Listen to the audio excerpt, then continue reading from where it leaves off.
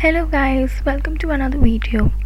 So today I'm going to show you how to make an interactive animation in which there will be squares and circles of different sizes and different colors and they will be moving in random directions inside the canvas.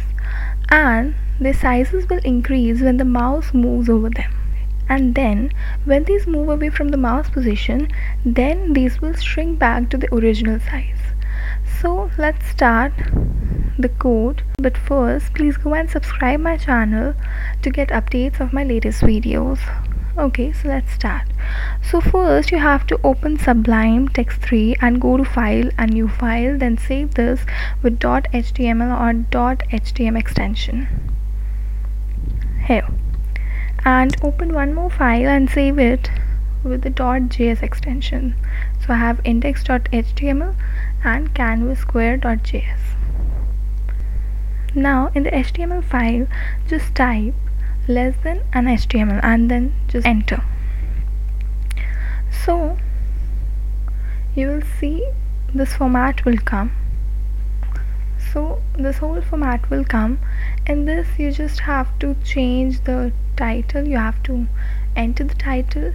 You have to uh, add canvas inside the body. And also you have to add the script tag to link the javascript file inside this html file.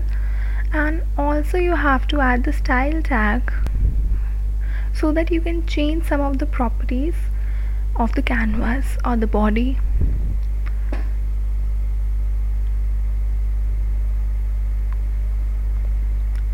Now let's start with the javascript so first you have to declare a variable. Here I have declared canvas. So you have to declare a variable which will represent the canvas by using query selector. So you will have to use var canvas equal to document dot query selector and then inside it canvas and then you have to adjust the side of the canvas using canvas width equal to window dot inner width and you same will be applied for the height. After this you have to set a variable c for pushing anything into the canvas. Now in this what we have to do is we'll check if the distance between the position of the square and the position of the mouse is less than 50 or not if it is less than 50 then the size will increase to a certain value. Otherwise it will not. So first we have to take the x and y coordinates of the mouse. So you will do that by using mouse and then inside x undefined and y undefined. And also you have to set the maximum length of the square. So var maximum side equal to 70 then you have to generate an array for colors. And you can add as many colors as you can. I have added just 5 and you have to add the hexadecimal value or you can simply write the names also. Then you have to add an event listener for the mouse movement. So you can see two event listener. First event listener is for resizing the frame if your window is minimized or maximized then it will automatically adjust the canvas. And the second one is for the mouse movement. So in this you will set the x and y position of the mouse as the current x and y position. Then you have to declare a function square. Okay I have declared rectangle. So the parameters are x and y that is the position and then dx and dy are the increase in x coordinate and y coordinate and then the side of the square. So this is for making squares of different colors. So the code for making a square is c dot fill rect and then inside it this dot x comma this dot y comma this dot size and then again comma this, this dot size because length and breadth are same for a square. And also you have to fill random colors by using math dot random function and then using c dot fill style. You can fill the squares with these colors. Then you have to create a function update. Here's the function. So using which you will be able to move the squares. And and when these squares touch the walls or the boundaries of the canvas then these will automatically change its direction so as to remain in the canvas. So for that these two if statements are used and the positions are increased using dx and dy. Then you have to check the distance between each square and the mouse. And if it is less than 50 then the side will automatically increase to the maximum length. And if the side is more than the actual length then this will decrease. Then inside the init function here it will push all the squares inside the canvas. And the canvas size will readjust in the window.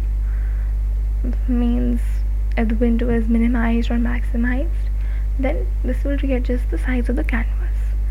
After this function animate will be used for the movement of all the squares. And for that we have used request animation frame and then inside it animate and then c dot clear rectangle and then inside it 0 0 inner width and inner height.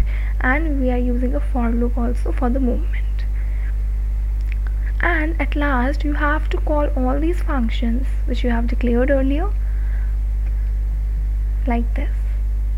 console.log and then inside canvas is for the console part which will not be displayed on the screen but you can go to the inspect all elements and you can see there. So now we have done this coding and we have linked this javascript to the html file also. So we will just run the program now. So here's the program. See all the squares you can see some are big some are very small and these are of different colors also and these are moving in random directions. And when these touch the boundaries they will automatically bounce back now. Let's move the mouse over these. So you can see they increases their size automatically to a certain size. And then when this mouse moves away from them then they automatically decrease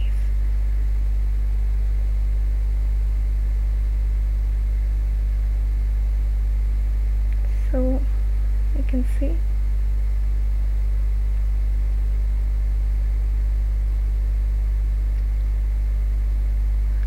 so now after this we can make the same for the circles also.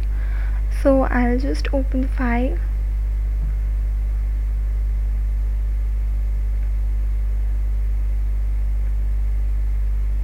This is the file. So this is the file for the circle. It's same and this just you have to draw a circle. For that you have to use c.arc this dot x this dot y this dot radius and then math dot pi. 0 is the starting angle and math dot pi into 2 is the ending angle. So this is same. Now let's just change this to canvas.js so we are linking this to the circle one. Just save this and run. Just refresh this.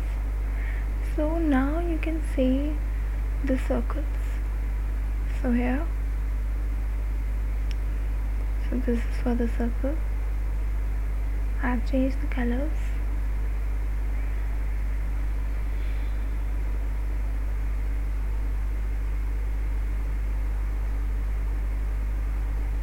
So this is all for today. Thank you guys and please subscribe to my channel if you haven't